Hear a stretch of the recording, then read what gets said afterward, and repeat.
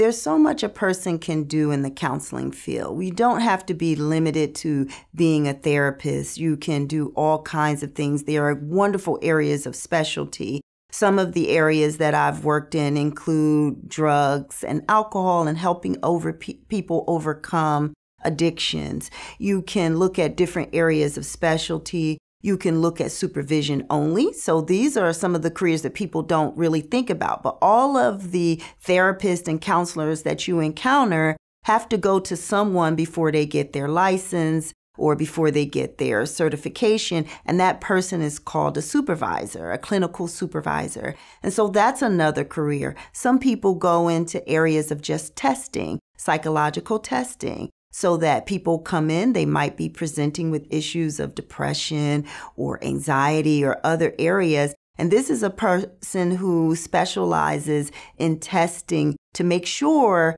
that the treatment fits what the person's needs are. And so that's another career within the profession. There are so many things that people can do. You can go into research. You don't have to actually do one on one counseling. You can do research the field is is is ripe with opportunity and at the end of it all of it is about serving and empowering people which is the most rewarding thing that I have experienced in this career.